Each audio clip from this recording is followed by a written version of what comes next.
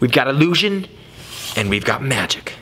What's up everybody? I am so excited to show you some of my favorite 3D printed illusions today. For the last couple years, I've been really intrigued watching how people are 3D printing a lot of items, including props, small utilities, and a 3D printing company, Lulzbot, sent me a bunch of printers earlier this year, so I started really getting involved in the 3D printing process, modeling some of my own items. I stumbled upon some awesome 3D printed illusions, which I'm gonna show you today, starting with one of my favorites. This is one of my favorites right here, and you can see it is an impossible triangle made possible by how you look at the angle. When you line it up correctly, it looks awesome. Speaking of triangles, this is called the Penrose triangle, and you can see here, if I even just move it slightly, it still looks like all these boxes are connected in that impossible triangle orientation, but immediately when you break the illusion from the angle, you know, it, it's shattered. Now, this illusion I actually use as a coin holder on my desk, and if you look closely from our lower camera, when you look dead on on the cylinder, it's actually two faces, which you've probably seen illusions of this where the vase is actually a face. It's fun that it's an illusion that also has a little bit of a practical value of keeping change on my desk. There are a lot of items that I 3D print that actually help me in my everyday life. For example, my office doorknob broke and instead of going to the store and spending 25 bucks on a new handle set, I actually 3D printed a little bit of a goofy print, which is a cat. And for some reason, I printed it upside down and now I have an upside down cat as my door handle. Another thing we've been 3D printing a lot are these little GoPro mounts.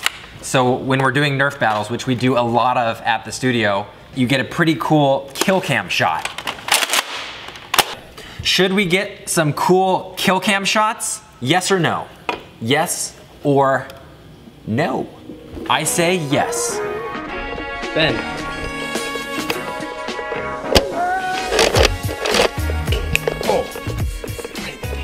This is kind of goofy, but I actually use little stands for some of my devices when I'm in the office. So iPad stand, phone stand. And I actually take these on airplanes a lot too because it's hard to mount them on the, the seat back in front of you. Recently, I crashed my RC plane. I actually cracked the, the front plastic piece. So I 3D printed a brand spanking new one in blazing blue color. But then I crashed it again. It's been three crashes in three days. Don't tell Aaron. I needed some light switches, so I switched all of them to Lego base plate light switches. Got a little key holder outside my office.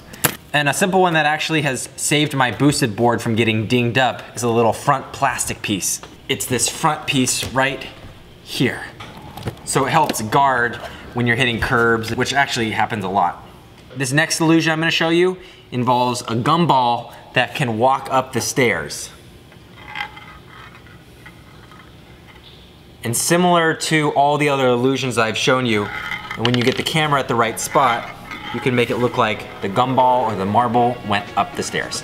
It's actually going down. You may be familiar with 3D printing, but if you're not, it's a process where you take a spool of plastic and put it through a very, very hot nozzle that melts it and a computer is telling it how to build the model properly. And it layers the melted plastic all the way from the bed and the base of the printing machine to the end and top of your model. This is a fun illusion because it's several pieces that go together. There's even gears inside that allow this to spin. Let me show you what it does. It somehow defies everything your mind thinks is possible.